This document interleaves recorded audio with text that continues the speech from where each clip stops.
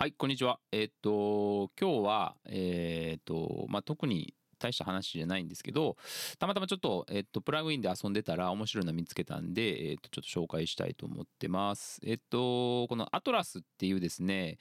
えっと、これはなんドラムマシンっていうんですかね、この、えっと、まあ、ワンショットを読み込んで、えーまあ、こうやって割り振りしてくれるっていう、えー、とやつなんですけど、まあ、こうこんな感じでなんなんていうんですかねこんな、えー、ともともと入ってるやつとかあと,、えー、とこれが MIDI なのかな、えーとまあ、これを直接こう DAW とかにうんとこうやって貼り MIDI の、えー、MIDI データっていうんですかねこのえっ、と出てくるかな。こんな感じで、えっと、なってるのがまあえっとこのキットで鳴るというとこですね。でえっとまあこのキットもこのまあいろいろこう変えられる感じなんで。これで例えばこのじゃあキックをちょっと変えたいなと思ったらキックはこの辺にあるっていうのなんでキックじゃあこの音とかどうかなとか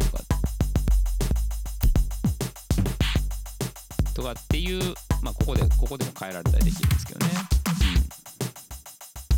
まあこういうえっ、ー、と面白い感じのちょっとえっ、ー、と自分のサンプルの、えー、フォルダに眠ってるようなやつをこれでまあ引っ張り出してきてくれて、まあ、こうやって組み合わせてっていう感じなんですけどこれのねなんかたまたまこのここのえー、っと何て言うんですかねプラグイン名というかここのバージョン1.34とかあってまた新しいバージョンとか出てんのかなと思って、まあ、セッティングとかいろいろ見たりしたんですけどここなんかたまたまクリックしたらなんか色が変わるんですよねこうやってね。でこう色変わっていてあれなんやこれどこまで変わるのかなと思ってこうガーってクリックしてたらこれでなんかパッとこれ これ何これっていうのでなんか急にねこれゲームが始まるんですよこれでこうなんか矢印で動かして打ってでなんかこの何て言うんですかこの白い球をこう取れば点数が入るみたいな感じなんでなんかねこれ まあちょっとちょっとこうやったんですけどなかなかね当たり判定とかが結構厳しくって難しいんですよね意外にね。でこう白いの取ってあとこうやって敵が出てきてなんか弾出してくるんですよこれがすっげえうざいんですよねこれ。でしかもなかなかね死なないんですよこれ。倒せないんですよなかなか。あでもこれ結構今回結構いってますねこれ大体ね始まってすぐぐらいでボーンって壁もぶつかってダメになっちゃったりするんですけどああでももうここここ厳しいですねこれああでもいいってるな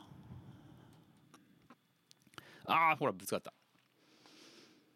ていう感じ のえーと、ゲームができます。で、なんかね、このスコア、まあ、今回13なんですけど、こうやって、なんかラン、スコアランキングがあって、この人とか604とか、もうちょっと異常ですよね、このケビン・ザ・ドッグっていう人とかね。で、一応ね、さっきね、僕がで、これ、17位、えー、27点。これ結構ね、えっ、ー、と、27点で17位まで来れるんで、